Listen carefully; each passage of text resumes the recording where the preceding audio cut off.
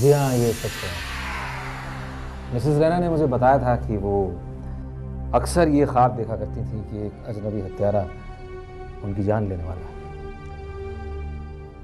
Doctor साहब आपको ऐसा नहीं लगता कि मिसेस रैना ये बात झूठ बोल रही हैं?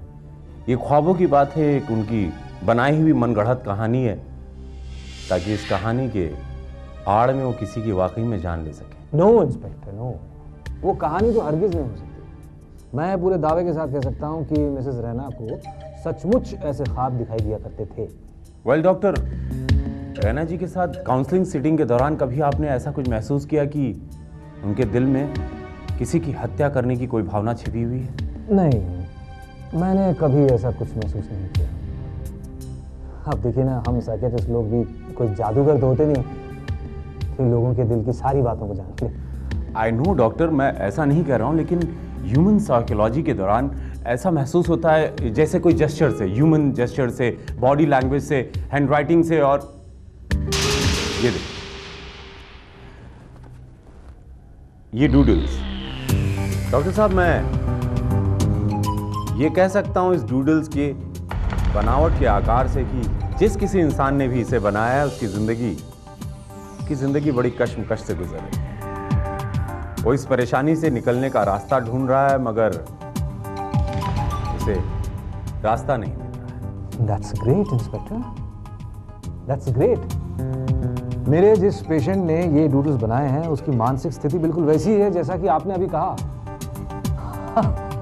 आपको तो साइकियाट्रिस्ट होना चाहिए। थैंक्स एनीवे मुझे याद नहीं कि मिसेस रैना की किसी भी हरकत से ऐसा कुछ ज़ाहिर होता था। वो तो बस अपने ख्वाब से डरी हुई थी। और डर इसलिए था क्योंकि वो समझती थी कि शायद उसका ख्वाब सच हो जाए। और देखिए ख्वाब सच हो गया। मतलब आपको भी ऐसा लगता है कि मिसेस रैना को पूर्वाभास हुआ करता था? नो नो मेरे ख्याल से तो ये एक महज इतफाक है कि वो सब कुछ सच हो गया जो उसने ख्वाब में देखा वो कमल का फूल वो टेढ़ी पेंटिंग काला ओवरकोट वाला गाल पर मस्सा। मगर हाँ एक फ़र्क ज़रूर था। यहाँ जान लेने वाला खुद अपनी जान गंवा बैठा। नहीं डॉक्टर। मुझे नहीं लगता कि वो आदमी मिसेस रैना की जान लेने आया था। क्योंकि उसके हाथ से जो चाकू मिला वो नकली था। लकड़ी का बनाया हुआ था। व्हाट हाँ डॉक्टर मुझे लगता है वो आदमी मिसेस रैना को सिर्फ़ डराने आया था वो हुलिया बनाकर। जस्ट मिनट डॉक्टर साहब आपने क्या कहा था कि वो टेढ़ी पेंटिंग वो कमल का फूल ये सब मिसेस रैना के ख्वाब के हिस्से थे? यस ऑफ़ कोर्स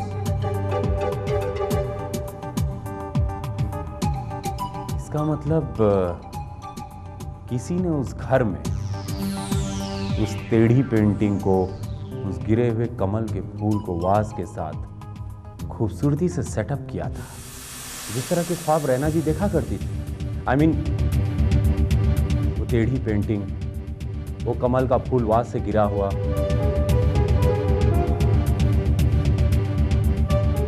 सवाल ये उठता है कि कौन कर सकता है क्या सोच रहे हैं सर? मैं सोच ये रहा हूँ कि वो आदमी कौन होगा जो रैना जायसवाल को मारने उसके घर गया। गया भी तो उसने हुलिया क्यों बनाया था ये नकली दाढ़ी मूछ कुछ समझ में नहीं आ रहा है। अगर उसे मारना ही होता रैना को तो वो सिंपली उसके घर जाके उसे गोली मार सकता था। हो सकता है उसका मकसद रैना को डराना हो। नहीं तिवारी। ज़रूर कहीं ना कहीं उसका कोई ताल्लुक रैना जायसवाल से ज़रूर था। जब तक उस आदमी की शिनाख्त नहीं होती इस केस से पर्दा उठना थोड़ा मुश्किल लग रहा है। ओ फिंगरप्रिंट्स की रिपोर्ट तुमने हेडक्वार्टर भेजी थी उसका क्या हुआ? हाँ भेज दी सर। आती ही होगी। रिपोर्ट बहुत इंपॉर्टेंट है। साहब रिपोर्ट आई है। सर।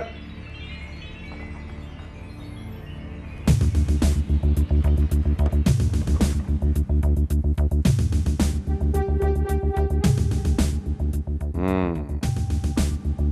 इस आदमी की शिनाख्त हो गई है और उसके फिंगरप्रिंट्स भी मैच हो गए। पुलिस रिकॉर्ड के मुताबिक ये छोटा मोटा बदमाश है जो चोरी चकारी और गुंडागर्दी मारपीट में काफ़ी बार जेल जा चुका है।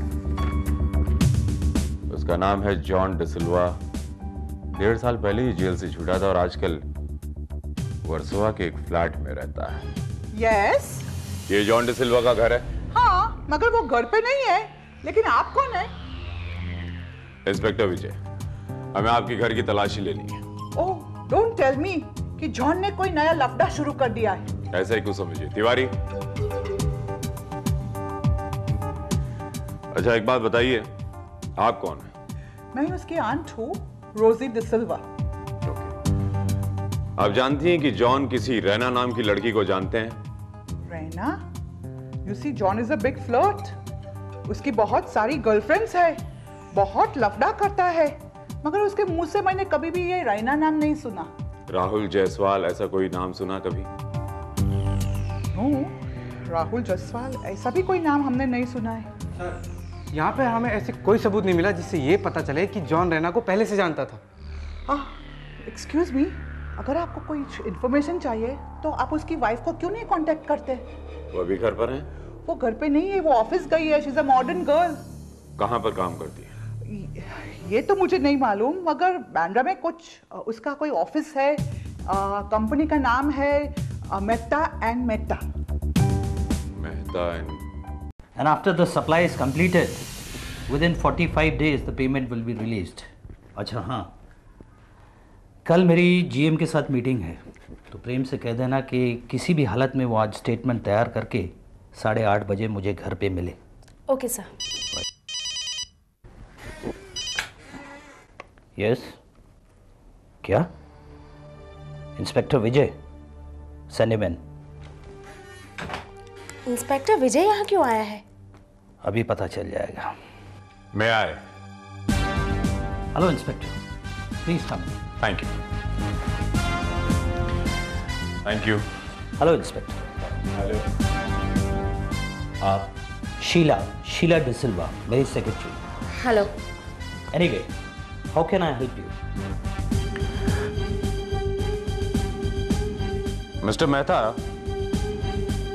आपकी एक एम्प्लॉय है मिसेस रैना जायसवाल मुझे उनके बारे में कुछ पूछताछ करनी है। सर मैं आए आप कहाँ जा रही हैं? अरे आपसे तो हमें मदद की कुछ ज़्यादा ही उम्मीद है। जी? इंस्पेक्टर साहब मेरे पास वक्त बहुत कम है। ये बेहतर होगा कि आप अपनी इंक्वायरी जल्दी खत्म करें। मेहता जी आपको ये तो पता होगा कि हमने रैना जी को क्यों गिरफ़्तार किया जी हाँ हमने सुना कि उसने किसी को शूट कर दिया। और ऐसे आदमी को जिसे वो जानती तक नहीं और उनकी उससे कोई दुश्मनी नहीं थी। ये कैसे हो सकता है? शीला जी क्या आप ये बता सकते हैं कि आप में और रैना जी के बीच किस तरह के संबंध थे? आप लोगों में कोई झगड़ा कोई मनमुटाव किसी बात का? नहीं इंस्पेक्टर साहब। रहना और मेरे बीच नॉट पॉसिबल हम लोग तो बहुत अच्छे फ्रेंड झूठ बोल रही हैं आप शीला जी। ऑफ़िस के स्टाफ ने बताया कि रैना जी आपको जरा भी बर्दाश्त नहीं कर सकती थी। इनफैक्ट आप भी मौके की तलाश में रहती थी कि आप कब उनकी इंसल्ट करें। Am I right well inspector office में काम करने वालों के बीच में छोटी मोटी नोकझोंक तो होती रहती वैसे इसका रैना के केस से क्या ताल्लुक है? ताल्लुक है मिस्टर मेहता। शीला जी का इस केस से या यूँ कहिए इस कत्ल से काफ़ी गहरा ताल्लुक है। इंस्पेक्टर आप मुझे खामखा इस मामले में घसीट रहे हैं। रहना ने किसका खून किया, क्यों किया, मुझे कुछ नहीं पता। शीला जी, मैं आपको बताता हूँ। रैना जी को पिछले तीन महीने से एक ख्वाब आया करता था कि कोई उनका कत्ल कर देना चाहता है। और वो ख्वाब में देखा हुआ शख्स परसों रात उनके घर पर पहुँच गया। उसी होली में जैसे वो ख्वाब में देखा करती थी। वो डर गई कि उन्हें वो मार देगा। और उसी घबराहट में उन्होंने अपनी रिवॉल्वर से उसे शूट कर दिया। लेकिन इस केस में शीला कहाँ फिट होती? है मिस्टर मेहता वो अजनबी और कोई नहीं। वो अजनबी शीला जी के पति जॉन डिसिल्वा थे। व्हाट जॉन का खून हो गया? Yes I can't believe this John का खून हो गया? हैरत की बात यह है मिस्टर मेहता मेरे लिए कि पिछले तीन दिनों से जॉन अपने घर से लापता है और शीला जी ने किसी भी पुलिस थाने में इस बात की कोई रिपोर्ट नहीं दर्ज करवाई कि उनके पति तीन दिन से घर नहीं आ रहे इंस्पेक्टर साहब, वो ऐसा ही था। वो हफ्तों तक घर से बाहर रहता था। शराब जुए और दोस्तों की लत्तियों से बिगाड़ दिया था। मुझे तो अभी भी यकीन नहीं आ रहा, सर, कि जॉन का खून हो गया। मुझे यकीन नहीं आ रहा। सवाल ये उठता है कि जॉन उस घर में क्यों गया? किसी ने उसे भेजा? किसी ने? किसने?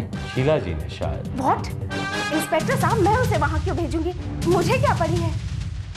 शायद आप उस ख्वाब के बारे में जानती थी और आपने सोचा कि मैं उस ख्वाब के उस अजनबी इंसान को उसी हुलिये में उस घर में भेजूं ताकि शीला जी उसको देखकर उन्हें हार्ट अटैक आ जाए। या तो वो पागल हो जाए। इंस्पेक्टर साहब मुझे तो ये तक नहीं पता था कि रैना को क्या बीमारी थी। उसने अपने ख्वाबों के बारे में मुझे या ऑफ़िस के किसी भी स्टाफ को नहीं बताया था। और फिर उसके ख्वाबों को हकीकत में बदलने की कोशिश मैं भला कैसे कर सकती हूँ? शी इज़ राइट इंस्पेक्टर और इंस्पेक्टर साहब अगर आपको विश्वास नहीं हो रहा तो आप आप रैना को बुलाकर पूछ सकते हैं कि उसने मुझे या ऑफ़िस के किसी भी स्टाफ को इस बारे में बताया है कि नहीं। नहीं मेरे ख्वाब के बारे में राहुल और कामिनी के अलावा और किसी को नहीं पता था। मिस्टर राहुल आप भी रैना जी के ऑफ़िस गए थे। कहीं बातों बातों में आपने तो शीला जी से नहीं कह दिया था। मैंने किसी से कोई बात नहीं की। हाँ रैना की बीमारी का ज़िक्र ज़रूर हुआ था मगर उसे क्या बीमारी है इस बारे में कोई बात नहीं हुई। Sure? डेड शो हो सकता है डॉक्टर अचोले को ये बात किसी और से पता चली? एक डॉक्टर अपने पेशेंट की डिटेल्स और किसी के साथ डिस्कस नहीं करेगा। She is right, mister Rahul और डॉक्टर चोले इस बारे में अच्छी तरह से जानते थे कि मेरे पास एक रिवॉल्वर है। कामिनी ने खुद उन्हें बताया था। आपको रहना जी ऐसा लगता है कि डॉक्टर को ये बात कामिनी ने बताई होगी? कामनी ने कहा तो यही आई सी तिवारी? क्या कर रहे हो? कुछ नहीं सर। ला दो पेपर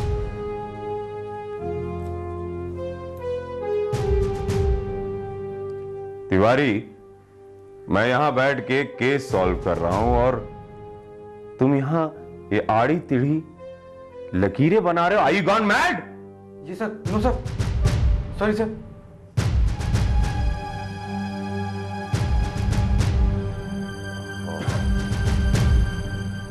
Tiwari, मैं अपने शब्द वापस लेता हूँ। मुझे लगता है कि यही आड़ी तिरछी लकीरें हम्म यही आड़ी तिरछी लकीरें अब इस केस को सॉल्व करेगी। Yes you are great Diwakar you are really great तुमने वो कर दिखाया। जो कोई सपने में भी नहीं सोच सकता था। पुलिस यही जानने की कोशिश करती रहेगी कि जॉन रैना के घर क्यों गया। और रैना के हाथों जॉन की मौत एक कत्ल था या एक्सीडेंट? सच्चाई का कोई पता नहीं लगा पाएगा। कोई भी नहीं। और ये बात भी कोई नहीं मालूम कर पाएगा कि जॉन को वहाँ रैना का खून करने के लिए नहीं भेजा गया था। बल्कि इसलिए भेजा गया था कि रैना जॉन का खून कर सके। और हमारा सपना साकार हो जाए। You are great darling really great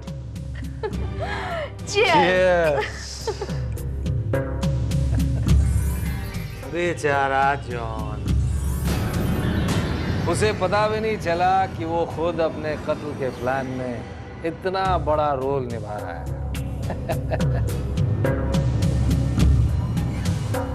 John की तरह पुलिस भी समझ नहीं सकती कि जॉन खुद वहाँ कत्ल होने गया होगा। Yes this is the beauty of your plan पर एक बात समझ में नहीं आई। तुमने ये प्लान कब बनाया? जॉन को खत्म करने का प्लान तो मैंने उसी वक्त बना लिया था जब मुझे ये एहसास हो चला था कि तुम मेरी हो। जॉन के ज़िंदा रहते तो मैं तुम्हें हासिल नहीं कर सकता। मैं बस मौके की तलाश में था। और रैना ने वो मौका थाली में सजाकर तुम्हारे सामने पेश कर दिया। हाँ एग्जैक्टली एग्जैक्टली रहना को ये डर था कि उसका ख्वाब कहीं हकीकत न बन जाए। और मैंने उसके इसी डर को हथियार बनाने का फैसला कर लिया। रहना पहले से ही अपने ख्वाब वाले हत्यारे के वहम में किसी पर हमला कर चुकी थी। और मुझे पूरा यकीन था कि अगर सचमुच उसके ख्वाब वाले माहौल को पूरी तरह से तैयार कर लिया जाए तो वो कत्ल भी कर सकती है। तो तुम्हें पहले से पता था कि रैना के पास रिवॉल्वर है। ऑफ़ कोर्स उसकी सहेली ने मुझे सब कुछ बता दिया था। हाँ जॉन को उसके बारे में कुछ पता नहीं था। लेकिन मुझे एक बात अभी तक समझ में नहीं आई तुमने जॉन को वहाँ जाने के लिए तैयार कैसे किया? बड़ी आसानी से। मैंने कत्ल की रात के पहले जॉन को बुलाया। क्या बात है साहब? आज जॉन को कैसे याद कर लिया? कोई खास बात? देखो जॉन तुम्हारी बीवी शीला बहुत शिकायत कर रही थी कि तुम आजकल कुछ ढंग का काम वाम करते नहीं हो। इसलिए मजबूरन उसे नौकरी करनी पड़ रही है। तो? तो एक ही पति होने के नाते तुम्हारा फ़र्ज़ है कि तुम अपनी पत्नी के लिए रुपए कमाओ उसकी जरूरतों को पूरा करो उसकी ख्वाहिशों को पूरा करो। चाहता तो मैं भी यही हूँ साहब। मगर क्या करूँ? साला कोई लंबा हाथ भी तो नहीं लगता। अरे जॉन तुम हमेशा उल्टे सीधे धंधों के बारे में क्यों सोचते? देखो एक काम है।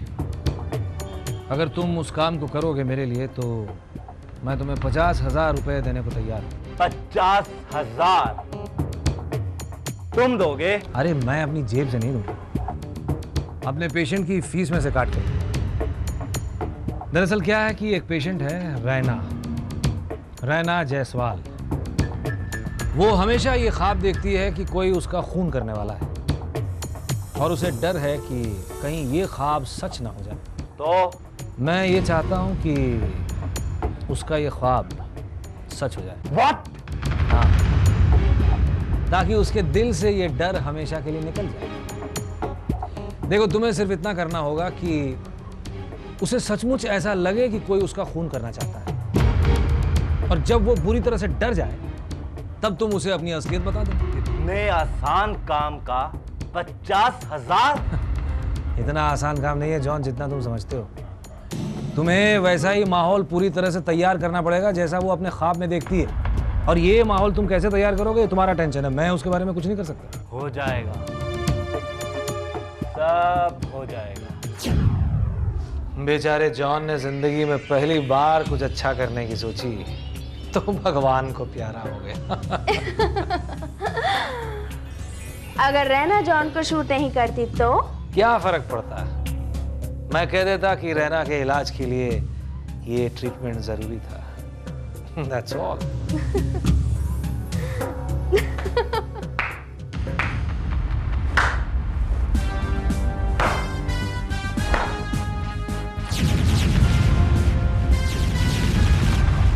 वाह डॉक्टर राजू ने वाह। क्या खूबसूरत प्लान बनाया था आपने। तुम? जी हाँ मैं इंस्पेक्टर विजय। देखकर हैरान हो गए मुझे। आपने सोचा डॉक्टर साहब कि आपके और शीला जी के रिलेशन के बारे में पुलिस को कभी पता नहीं चलेगा। हाँ शायद पता नहीं चलता। लेकिन जब मैं आज शीला जी के ऑफ़िस गया तो उनके टेबल पे गिरा हुआ एक पैड मिला मुझे उन्हीं के हाथों से। उस पर मुझे कुछ लकीरें दिखाई दी। तो मैं सोचने लगा कि ये लकीरें मैंने कहाँ देखी थी, कहाँ देखी थी? तब याद आया कि डॉक्टर साहब, ये ये सेम डूडल्स जो उस पैड पर बने थे, ये पैड मैंने आपकी क्लिनिक पे आप ही के टेबल पर देखा था। मेरे आँखों के सामने के सारे पर्दे धीरे धीरे हटने लगे। मुझे आप पर शक हुआ। मेरा शक जब गहरा होने लगा तो मैंने रैना जी को आपके हाथों लिखी हुई प्रिस्क्रिप्शंस को पढ़ा। तो मैंने उसमें पाया कि वो दवाइयाँ एंटी डिप्रेशन या रिलैक्सेशन के लिए नहीं है। बल्कि उसको खाने के बाद खून की गति में काफ़ी तेज़ी आ जाती है। वेरी क्लेवर डॉक्टर शीला ये सब तुम्हारी वजह से हुआ है। मैंने तुमसे कहा था ये केस जब तक ठंडा ना हो जाए तुम मुझसे मिलने की कोशिश नहीं करना। और तुमने मुझसे ये भी कहा था कि पुलिस हम तक कभी नहीं पहुँच पाएगी। फिर ये क्या है? डॉक्टर दिवाकर आचोले डॉक्टर साहब मज़बूत से मज़बूत जहाज़ में भी अगर छोटा सा सुराख हो जाए ना तो उस सुराख के ज़रिए पानी बड़ी आसानी से अंदर आ जाता है और इतना बड़ा जहाज़ डूब जाता है। उसी तरह तुम दोनों का जहाज़ डूब चुका है। Tiwari? Yes sir arrest them